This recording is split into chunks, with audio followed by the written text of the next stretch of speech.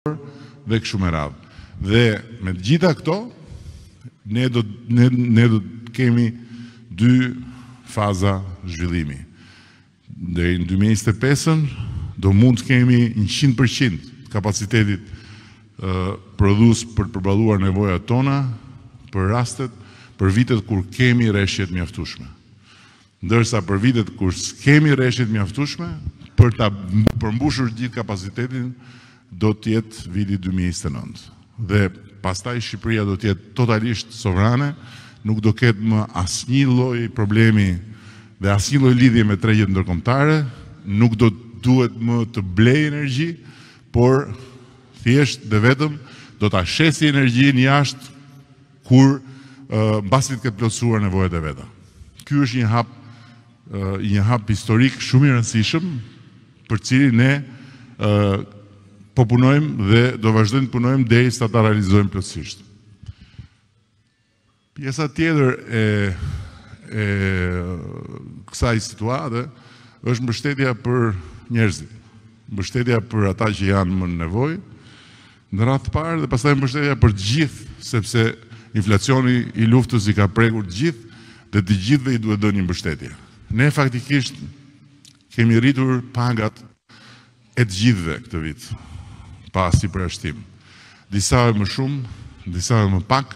Por pagat e të gjithëve janë rritur. Ashtu sikundër pensionet janë indeksuar dy herë, gjë që nuk ka ndodhur në asnjë vit tjetër, por ky është një vit shumë i veçantë për nga barra për shkak të inflacionit të luftës dhe rritjen kemi një rritje mesatare të pensioneve me 10%, Pavarësisht gjithë vështirësive, ne përsëri e kemi garantuar që pensionistët në fillim të muajit dhjetor do të marrin edhe një bonus mbështetje prej 50.000 lekësh dhe me buxhetin e ri kemi garantuar që edhe vitin e ardhshëm të mbështesim Përsëri, qoftë me rritje pagash, qoftë me rritje pensionesh, qoftë me rritje të ndihmës ekonomike, qoftë me rritje të mbështetjes, veçanërisht për nënat me dy fëmijë, për nënat me tre fëmijë, kryefamiljare dhe patjetër Edhe për të vazhduar të gjitha ato punë dhe të gjitha ato investime të cilat na sjellin më shumë të ardhura me të cilat pastaj përsëri do të mbështesim. Dhe një nga gjërat që kemi parashikuar pra shembull është taksa e jashtëzakonshme mbi prodhuesit e mëdhenj të energjisë. Shqipëria ka tre prodhues të mëdhenj të energjisë, të cilët kanë fitime marramendëse në këto kushte, për shkak se e shesin energjinë jashtë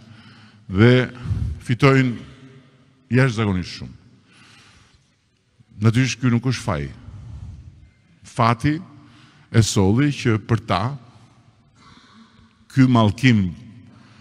për Europën, ky mallkim për gjithë pjesën tjetër, të jetë një bekim. Por ne nuk mundet dot që Ndërkohë që këtu nevoja për të mbështetur ata që janë më në nevojë, këtu kam parasysh në radhë të parë të moshuarit, të mbetet e paadresuar si duhet, sepse disa të tjerë